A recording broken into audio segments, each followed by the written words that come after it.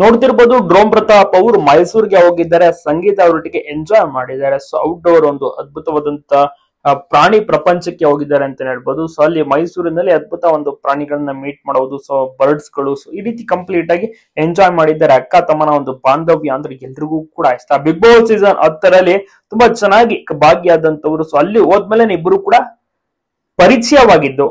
ಅದಕ್ಕೂ ಮುಂಚೆ ಒಬ್ರಿಗೊಬ್ರು ಅಂದ್ರೆ ಗೊತ್ತೇ ಇರಲಿಲ್ಲ. ಸಂಗೀತ ಅವರನ್ನ ಅಕ್ಕ ಅಂತ ಸ್ವೀಕರಿಸಿದಂತ ಡ್ರೋಮ್ ಪ್ರತಾಪ್ ಅವರು ಬಿಗ್ ಬಾಸ್ ಮನೆಯಿಂದ ಆಚೆ ಬಂದ್ಮೇಲೂ ಕೂಡ ಅದೇ ರೀತಿಯ ಒಂದು ಒಡನಾಟ ಸಂಬಂಧ ಬಂದು ಇಟ್ಕೊಂಡಿದ್ದಾರೆ ಒಟ್ಟಿಗೆ ಆಗಾಗ ಮೀಟ್ ಮಾಡ್ತಾರೆ ಒಟ್ಟಿಗೆ ಫಿಲಮ್ಗೆ ಹೋಗ್ತಾರೆ. ಈಗ ಒಟ್ಟಿಗೆ ಆಚೆ ಸುತ್ತಾಡೋಕ್ಕೂ ಕೂಡ ಹೋಗಿದ್ದಾರೆ. ಎಂಜಾಯ್ ಮಾಡಿದ್ದಾರೆ. ಸೊ ಅವರ ಅಪರೂಪದ ಕ್ಷಣಗಳನ್ನ ನೀವಿಲ್ಲಿ ನೋಡ್ತಾ ಇರ್ಬೋದು. ಡ್ರೋಮ್ ಪ್ರತಾಪ್ ಅವ್ರಿಗೂ ಕೂಡ ಸಿಕ್ಕಾಪಟ್ಟೆ ಫ್ಯಾನ್ ಫಾಲೋವಿಂಗ್ ಕ್ರೇಜ್ ಇದೆ. ಜೊತೆಗೆ ಸಂಗೀತ ಅವರು ಕೂಡ ಒಳ್ಳೊಳ್ಳೆ ಸಿನಿಮಾಗಳನ್ನ ಮಾಡ್ತಾ ಇದ್ದಾರೆ. ಆ, ಸಿಕ್ಕಾಪಟ್ಟೆ ರೀತಿಯಲ್ಲಿ ಸೋಷಿಯಲ್ ಮೀಡಿಯಾದಲ್ಲಿ ಆಕ್ಟಿವ್ ಆಗಿರ್ತಾರೆ ಚೆನ್ನಾಗಿರುವಂತಹ ಫೋಟೋ ಶೂಟ್ ಅನ್ನು ಕೂಡ ಮಾಡಿಸ್ಕೊಂಡಿದ್ದಾರೆ. ಜೊತೆಗೆ ಈ ರೀತಿಯ ಒಂದು ವಿಡಿಯೋವನ್ನು ಕೂಡ ಶೇರ್ ಮಾಡ್ಕೊಂಡಿದ್ದು ಡ್ರೋಮ್ ಪ್ರತಾಪ್ ಖುಷಿಯಾಗಿದ್ದಾರೆ ಸಂಗೀತ ಅವರನ್ನ ಮೀಟ್ ಮಾಡಿ ಆಚರಿಸುತ್ತಾಡಿ ಪ್ರಾಣಿಗಳನ್ನು ಕೂಡ ನೋಡ್ತಾರೆ ತುಂಬಾನೇ ಎಂಜಾಯ್ ಮಾಡ್ತಾರೆ. ಒಟ್ಟಿಗೆ ಫೋಟೋವನ್ನು ಕೂಡ ತೆಗೆಸ್ಕೊಳ್ತಾರೆ. ಅಕ್ಕ ಅಂದ್ರೆ ನನಗೆ ತುಂಬಾನೇ ಇಷ್ಟ. ನನಗೆ ಎಲ್ಲದ ಪ್ರೀತಿಯನ್ನ ಕೊಟ್ಟಿದ್ದಾರೆ. ನಾವು ಇದೇ ರೀತಿಯ ಒಂದು ಕೊನೆಯ ತನಕವೂ ಕೂಡ ಇರ್ತೇವೆ.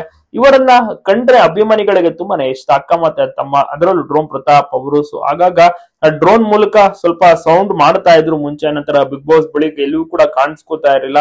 ಈಗ ಬೇರೆ ಬೇರೆ ರೀತಿ ಡ್ರೋನ್ ಗಳನ್ನ ಸಿಂಪಡಿಸುವುದಂದ್ರೆ ಔಷಧಿ ಸಿಂಪಡಿಸುವುದು, ರೈತರಿಗೆ ಹೆಲ್ಪ್ ಮಾಡುವ ರೀತಿ ಮಾಡ್ತಾ ಇದ್ದಾರೆ ಡ್ರೋನ್ ಪ್ರತಾಪ್.